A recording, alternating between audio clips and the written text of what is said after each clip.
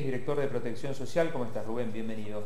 Hola, Claudio. ¿Todo bien? buen día. Bien. ¿Qué tal? Buen día, ¿cómo va? Bueno, hace rato queríamos charlar contigo sobre bueno, el trabajo que se hace en los barrios, que por ahí eh, no, no tiene demasiada difusión, pero siempre los medios por ahí nos ocupamos de cuando ocurren las cosas malas, ¿no? La noticia es el, el avión que se cae y no el que llega. Pero sabemos que hacen un trabajo interesante desde adentro. Eh, Rubén es un hombre que ha sabido eh, meterse en los barrios, en el buen sentido, para trabajar con distintas necesidades. En principio, contame un poco cómo se trabaja con organizaciones barriales, porque ustedes desde, desde el Ejecutivo buscan integrarse también con las organizaciones que, que están en distintos barrios. No, primero te quiero agradecer esta cuestión y decir que no se da mucha difusión por la misma problemática en sí, que esta cuestión de trabajar con sectores que están muy al borde de alguna situación y muy susceptibles tanto de un lado como de otro. Eh, muy al borde, digámoslo, no sé, del delito, de la droga, digamos. Son nosotros trabajamos con, grupos muy focalizados en que han cometido delito, han salido del delito o por su situación y su contexto uno ve que están al borde de cometer alguna situación. Por eso eh, uno que no es omnipotente, eh, lo que trabaja es en cada barrio con las instituciones del barrio que ya están trabajando en el tema, es reforzarla y potenciar lo que tienen.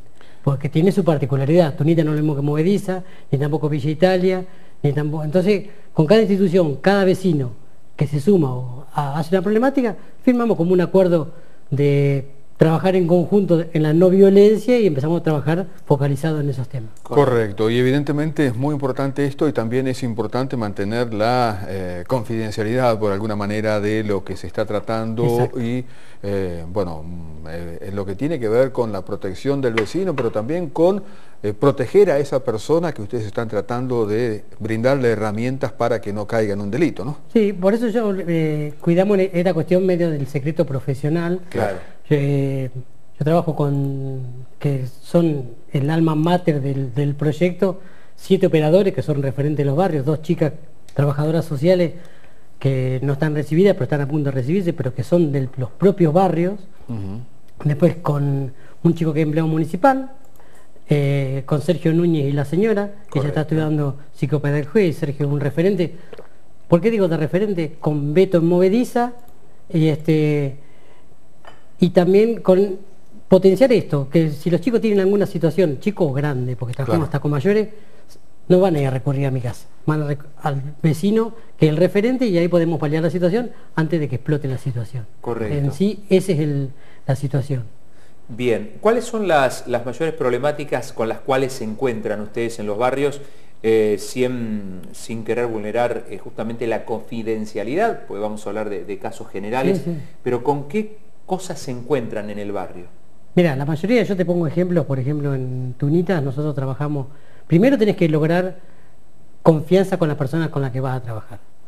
Eh, viene muy cansado, corrido, eh, viste, no tiene con quién hablar, pero en su mayoría son todas cuestiones muy afectivas, ¿viste? Ah, que eso también lleva al consumo, lleva a, a delinquir, o sea, contextos familiares muy rotos, eh, sin posibilidad de escuela, que es la segunda eh, sociabilización de que ponemos a hablar, y de donde no recurrir. Entonces vos te empezás a juntar con la, con la gente que te juntás, te juntás por afinidad, porque son compañeros de escuela o del club o lo que sea, o por carencia, te juntás con los mismos que están en la misma que vos. Entonces empezás, en lugar de, le contás a ellos los problemas tuyos que son los mismos que tienen ellos. ¿De qué edad a qué edad estás hablando? Y nosotros estamos hablando desde chiquitos, ¿De qué edad? y chiquitos tenemos, eh, por ejemplo, en los, los lugares de Movediza y Visitalia, que son de 12 años, donde encontramos en, su- en un porcentaje altísimo eh, familias monoparentales, o sea, madre sin padre presente en la casa, no en todos los casos, pero en un 90%, salvo en un caso que tenemos que es el padre solo con el nene, donde tiene que sostener la casa. Esa persona sola y queda el resto, o los hermanitos, o el chiquito, en banda, si le ponemos a hablar. Sí, bueno, sí, nosotros claro. lo que tratamos es de contener, de generarle confianza y que su problemática la empiecen a contar. Correcto. Bien, eh, eso tiene que ver justamente con la contención y cuando ya una persona cae en el delito, ustedes también tienen contacto con esa persona. Eh, en muchos sectores está el, eh, estigma, por así decirlo, como que quien ha cometido un delito va a volver a cometer y que está orgulloso de cometer un delito. ¿A ustedes qué le dicen cuando conversan con él? No, nosotros hemos visto, por, eso te digo, el trabajo eh, a veces, si bien cuando encontrás resultados eh, de potencia, hay muchos que vuelven a caer. Y volvemos a retomar lo afectivo. Cuando tienen son sectores que no pueden tener tolerancia a la frustración como lo podemos tener nosotros. Mañana te quedas sin trabajo y puedes decir, bueno, voy a trabajar en remis, no tengo problema. En estos sectores, ¿volvés a dónde? Y a lo que, te, lo que habías hace de antes, a delinquir, tener un problema con tu señora, te dejó tu señora, o un abandono, una separación, y enseguida eh, vuelven a lo mismo. Lo que nosotros tratamos es que esa reincidencia sea cada vez más espaciada. Pero somos conscientes de que nos puede pasar. Hemos tenido gente que hace un año que ni consumía ni delinquía y en dos minutos Claro. Pero, pasó algo exacto. Pero no lo hacen con orgullo, se lamentan en muchos casos de tener que esa como única opción. claro, es lo que vos viviste toda tu vida, es tu experiencia de vida, eh, vos transmitís lo que eh, el hábito que se generó en tu casa y en todos los lugares. Entonces, es lo que sabés hacer. Si vos tenés 20 años y 12 hiciste eso, en un año se lo puede revertir mejor, pero está muy latente esta reincidencia. Yo con esto no quiero justificar. Correcto. Lo que sí tratamos de entender del porqué la situación. ¿Y hay alguna generación que viene quizás que ya es segunda o tercera generación de gente que lamentablemente no ha tenido posibilidades y que está viviendo al margen? Por eso te digo, vos sabés que, eh, o sea, esta generación yo lo, lo, marco como que es la generación, el resultado de los 90. Son pibes que tienen entre 30 años ahora, ponele. Son resultado de las privatizaciones, de los comedores, que no había mesa en, tu casa y comía en comedores. Este contacto familiar que uno tenía con los padres no está, estaba roto, donde te encontraba que te levantaba y ninguno en tu casa trabajaba. Bueno, ese hábito para ellos común. Y se empieza a naturalizar esa cuestión, lo que tenemos que romper nosotros, que hay otra cuestión. Después queda en la persona su elección. Nosotros no trabajamos por coerción, si venía acá o si no. Si vos querés cambiar, nosotros te damos una mano. Si no querés cambiar, no nos haga perder tiempo, dejamos que suba otro. ¿Y qué porcentaje de gente quiere cambiar y qué porcentaje no? Y es muy alto, es mucho más alto el porcentaje de los que quieren cambiar que no. En eso yo tengo que, digo, eh, resaltar el trabajo de los operadores que te nombré anteriormente, pero también el trabajo que tenemos articulado nosotros con las instituciones barriales y con las instituciones estatales. Nosotros tenemos un trabajo muy fuerte con Molinero en lo, en lo que es todo el tema de de drogas, con la Fiscalía del Menor de Marsiglio, con el Centro de Referencia Penal Juvenil, con el Servicio Local Zonal, con Belauzarán, todas esas instituciones que nos derivan, las escuelas, lo, bueno, y un trabajo muy fuerte con las iglesias, tenemos nosotros, tanto católicas como evangelistas. Nosotros, en el trabajo, el objetivo es trabajar con la gente, no tenemos ni cuestiones políticas partidarias, nosotros en Tunito trabajamos con Cachacena, por más que sea de otro sector, no importa. En Tunita vos no podés trabajar si no trabajas con ella, que es la referente del barrio. Entonces, nosotros sobre 50 chicos que tenemos en Tunitas, 20 son de los proyectos que tiene Cacha. Nosotros lo reforzamos, lo apoyamos y trabajamos en conjunto. Y nos dedicamos a los otros 30. Trabajamos con la Fundación Pequeños Hogares, con el Club del Cerro, con la Iglesia Evangélica, con la Iglesia, con todos.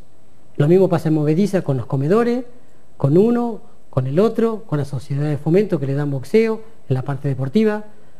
Eh, yo mm, eh, estaría bueno a veces uno mostrar fotos, pero por esta cuestión digo de, de no, se muestran por estas cuestiones, pero es un trabajo de, mucho trabajo de articulación y de coordinación más que en el día a día, de mucho territorio. Y objetivos eh, que van para distintos lados simultáneamente, digamos, por un lado a la persona, fundamental tratar de, eh, bueno, aportarle herramientas de mejorarle la, calidad de vida, pero también al resto de la sociedad, porque se, digamos, es una manera, contener un delito es evitar que alguien lo tenga que sufrir, ¿no? Exacto, pero por eso te digo, y es lo que decía Claudio al principio, todo lo que vos este, prevenís no lo podés medir. Correcto. Este, vos capaz que en el año no tenés ningún caso y hubo un caso y, vos te Y esa fue la noticia. Ese fue el caso. Sabemos que es, así, que es así. Pero bueno, sabemos que, es lo que tenemos, que estamos para condenar y que los resultados, si son buenos o malos, habría que verlo con estas instituciones. Yo no puedo, no puedo decir si son buenos por mi percepción, pero me gustaría que los, resultados los, los analizara la gente que nos deriva. Eh, está Rubén Díez con nosotros, vamos a seguir hablando en el próximo bloque. Eh, como conoce tanto de barrios, eh, quiero preguntarle eh, cómo está el tema del alcohol y el alcohol en los menores, o alcohol y, drogas, drogas no, no, legales como es el alcohol en el tema menores. Siempre charlamos por ahí con referentes del tema y nos manifiestan su preocupación por esto y quiero ver qué piensa eh, Rubén Diegues. Pero hay otros temas también que quedan. Exactamente, por ejemplo, el tema de menores reincidentes, cómo se trabaja, los programas que existen, eh, bueno, eh, y también muchas cosas más que vamos a ir comentando. Se queda con nosotros el licenciado Rubén Diegues, director de Protección Social. Nosotros con el desayuno de hoy con el licenciado Rubén Diegues, el director de Protección Social. bueno, habían quedado varios temas pendientes para conversar ahora y uno de ellos tiene que ver justamente con la manera de generar programa de contención para los menores reincidentes, todo el trabajo en conjunto que se realiza. Sí, de hecho lo que nosotros tenemos son, tratamos de no tener programas enlatados, así de bajarlo al barrio, sino que tenga que ver con eh, lo que los chicos demandan. Que si hacemos capacitación con lo más grande que estamos trabajando en Pujol, en lo que es electricidad o plomería, pero que la persona que los capacite lo hagan en la misma vivienda de ellos. Entonces que vean el resultado ahí. Porque si no, esto es muy teórico, da, tenemos experiencias que son muy buenas porque te bajan programas para de, muchas cuestiones, pero que a los chicos no les interesa. Entonces lo que tratamos de trabajar es en lo que a ellos les interesa, cosas que se sumen, fomentar el tema de la educación, que vuelvan a la escuela y la educación en todo sentido. En lo familiar el trabajo es integral. Con cada uno de los chicos es familia y contexto y trabajamos su problemática. ¿Mucha deserción escolar? Mucha deserción escolar. Gracias a Dios hemos tenido ahora buenos resultados de que han vuelto a la escuela con un trabajo con cada una de las escuelas, este, pero queremos que la reinserción sea no solamente el número de si terminó o no terminó, sino que realmente tenga contenido. Que se sientan contenidos. Que se sientan contenidos. Que por eso trabajamos con la escuela cuando hay situaciones problemáticas, que las escuelas nos avisan, pero trabajarlo en conjunto, no es este chico tiene problema, te lo doy a vos. No, trabajemos en conjunto. La escuela, la familia, la intervención hacemos al revés, desde el chico a la familia, antes se hacía al revés, y después lo que les gusta. Entonces yo, lo de la bicicleta de Sergio Núñez nace de esa cuestión. A mí no se me acuerdo nunca taller de Lo de Sergio fue maravilloso. Exacto. Entonces con Sergio tenemos un trabajo muy fuerte, complementado, donde el municipio aporta todo lo que es el tema del alquiler, los insumos, la beca a cada chico, y ellos hacen todo el seguimiento escolar, nosotros hacemos el seguimiento social, y también, de acuerdo a las edades, pueden venir de otros barrios, pero manteniendo un número. En Villaguirre tenemos una escuela de boxeo que surgió hace un mes porque había una persona que daba boxeo en un garage. Bueno, conseguimos arreglar con la Sociedad de Fomento de la Esperanza, con este hombre, y hoy hay 45 chicos, entre chicos y chicas, que van lunes, miércoles y viernes a practicar boxeo ahí. Correcto. Y quizás aquí para destacar, creo yo, que las soluciones no pasan solamente por eh, recursos económicos, no pasa únicamente por la plata, no es entregar un subsidio, sino que va mucho más allá y que es hacer un acompañamiento, crear algo eh, que quizás con un poco de imaginación se puede hacer y es una manera justamente de lograr contener, sacar de la calle a esas personas que tienen algún problema. Incluso, no, tiene que, para mí tiene que ver todo con lo afectivo y la contención porque, viste, el, mal llamado tema del límite y el control y todas esas cuestiones, el control y el límite a los chicos los contiene. Ellos buscan continuamente el control y el límite. De hecho, nosotros en cada uno de los barrios se le da charla a las madres de cómo trabajar también con los chicos. Llegan ellas por su propio medio, nosotros no, las obligamos que vengan, pero en Tunita se hizo charla de cómo trabajar con un chico cuando está con un consumo, si llega adicto, si no llega adicto, dónde ir, gestionar. Hicimos movediza y ahora lo estamos haciendo en Villa Italia. Y así vamos en todos los lugares, pero va dependiendo del interés que vaya teniendo cada una de las madres. Por eso digo, el abordaje es integral en cada uno de los chicos y atendiendo su individualidad. No son todos iguales, los barrios son todos distintos y las problemáticas son completamente individuales. Eh, Rubén, estamos hablando con Rubén Diegues. Eh, ¿Cómo está la situación del consumo de alcohol, que es sin duda eh, el inicio en cuanto a lo que puede llegar a ser consumo más tarde de drogas ilegales? Y el alcohol es lo que pasa que es el tema el de mayor llegada a los chicos y en los sectores que uno trabaja el de más fácil de, poder adquisitivo. Pero eh, eso va emparentado con el tema del consumo y con lo mismo. El tema del alcohol y el consumo tiene que ver con algo que vos interiormente no lo pudiste sacar y como que eso te lo adormece. Yo siempre le pongo el ejemplo a los pibes, es como si va a un auto, se te prende la luz del tablero del aceite y en lugar de parar, le desconectar el foquito y seguí. Ahora, te habrá pasado, digo, vos tenés operadores en cada barrio, como decía, pero, pero te habrás encontrado con algún chico, con algún preadolescente que empieza a, tomar alcohol, se juntan las esquinas. ¿Qué te dice? Eh, a ver, imagínate, sin mencionarlo, por supuesto, alguna charla que hayas tenido con alguien, con algún chiquito al cual vos te acercás justamente en tu función social tratando de, que cambie el rumbo. Ellos primero lo niegan. Dice que no, que no son ellos, que de acá, que de allá. Bueno, después nosotros trabajando le empezamos a contar y, empezamos a, establecer esta cuestión de, decimos, te va, te va a hacer mal, explicarle cuáles son las partes negativas de toda esta cuestión, de que no le ayudan nada, de que la escuela no puede ir, y después trabajamos en esto, decir, bueno, esta imagen que vos das, porque el problema es, yo un día le digo a los chicos que consumían, si yo te filmara y después te mostrara cómo estás vos, porque vos no te ves, pero vos no sabes la imagen que estás con tus hermanitos, vos te gusta trabajar esta cuestión, yo digo, de fortalecer los vínculos, lo familiar y en, el afuera. También por eso nosotros trabajamos, retomando lo que hacemos en los barrios, es los chicos que eran los más relegados por esta cuestión de que se juntaban en la esquina y eso, es que trabajen en los espacios públicos, que corten el pasto, que pinten los lugares y que la gente vea que ellos, que ellos se sientan útiles y que la gente vea que puede cambiar. A mí me quedó grabada una frase de un chico que era de Tunita que estaba cortando en la parada del colectivo y estaba cortando el pasto y pintando el, refugio y dice, mira, este hombre pensé que hace 15 días me reputeaba. Ahora, bueno, esta cuestión es que es lo que uno trabaja, que es lo que no se ve, pero es lo que ve en el día a día y lo que te dan ganas de... Perdón, decías un chico que estaba cortando el pasto y limpiando. Y limpiando en la, parada del colectivo. Eh, ¿Por qué hacen eso? Porque nosotros tienen una beca, que eran chicos que estaban sin hacer nada, y decir, bueno, mira, van una vez a la semana, porque tampoco podemos pretender que vayan todo el día, entonces van una vez a la semana, un horario, y ahí hacen. Y lo que cobran ellos, nosotros tenemos un grupo de ocho personas en Tunita, que lo mismo pasa en la bicicletería, y el que cumple este, al que falta se le descuenta, pero lo que se descuenta se lo da al que, al que, al que va. Entonces hay algunos que cobran el doble de los otros, entonces genera toda esta cuestión de decir no. Premio castigo, incentivo. Exacto. que es un premio castigo, pero en el buen sentido de la palabra. y, en lo más grande que hacemos, las mismas bordeadoras o desmalezadoras que tienen, al que viene cumpliendo se la prestamos para que se gane una changa el fin de semana. Eh, estos programas están desde hace ya varios años. Eh, cuando Se, juntan a charlar eh, con aquellos chicos que están desde el comienzo, ¿qué le dicen sobre el antes y el ahora? No, nosotros, ellos... ¿Valoran todo esto? Valoran todo esto e incluso nosotros los tenemos como referente para con los más chicos. Ahora, los grupos los manejan ellos. Les vamos entregando, tirando responsabilidad también. Claro. Porque esto es lo que trabajamos. De cómo presentarse en un trabajo si mañana sale, el tema del cumplimiento, la responsabilidad. Los chicos no saben ni el, día ni la hora que están. Después vos los ves que andan por todo el Tandil, ahora vos le decía anda, no sé, a Montevideo y Alén, no saben cuál es la claro, calle. Claro. Trabajar todas estas cuestiones que para nosotros es tan común y para ellos no. Entonces, yo digo, son distintos. Eh, el problema grande de, esta sociedad que tenemos nosotros es querer llevar a nuestros valores el del resto. Entonces digo, equilibremos. No, son ni malos ni buenos.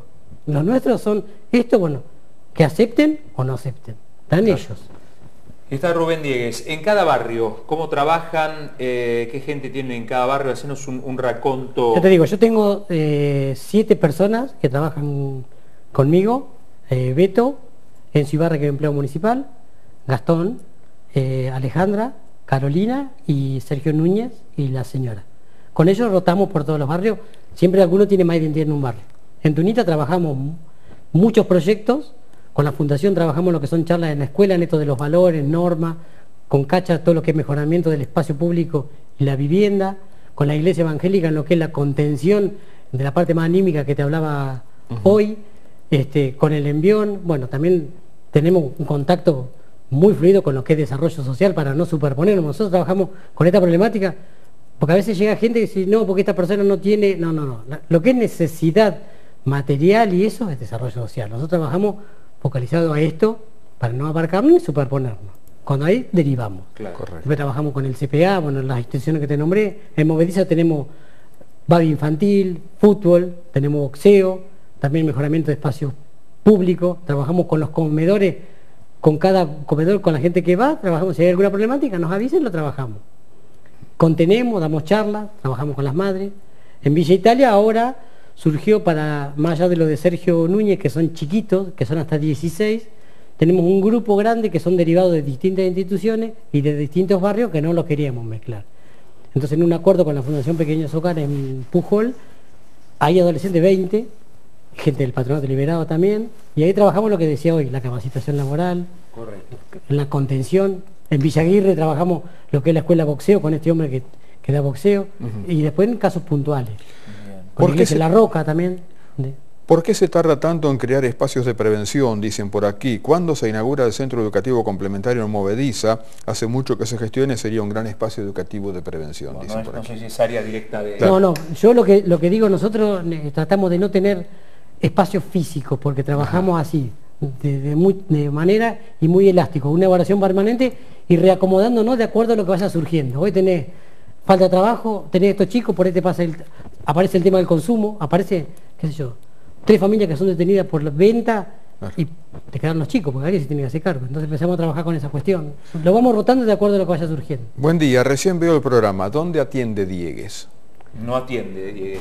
No, no, no, No. nosotros trabajamos en todos los barrios y en cada barrio tenemos referentes y la, la gente, los que vienen derivados vienen por cuestiones de, de alguna institución, de la Bien. escuela o organizaciones. Pero si ¿Tiene alguien alguna qui- inquietud de desarrollo social? No, no, no, No, en ah, protección ciudadana. estoy. Protección ciudadana. En- acá en Belgrano 338. Belgrano, bueno, ahí si alguno tiene alguna inquietud, eh, particularmente Belgrano 338. Exacto, si ve alguna persona que necesita que le demos una mano en lo que digo a esto, no No cuestiones económicas. No cuestiones Correcto. necesidad de mejoramiento de vivienda, eso no. Nosotros trabajamos con la persona que estuvo o detenida o en algún problema con la ley o está O en muy- riesgo. o en riesgo. Exacto. Belgrano 338, ¿eh? Ahí es la Secretaría de Protección Ciudadana. ¿eh? Si quieren contactarse con, con Rubén Diegues o con el equipo, bueno, lo pueden hacer ahí. Exacto. Rubén, eh, no sé, Rodolfo, si quedaba algo, la verdad que yo seguiría charlando, pero... Eh, no, venimos medios complicados Sí. con los tiempos, sí quedan algunas consultas que seguramente se lo pasamos por privado.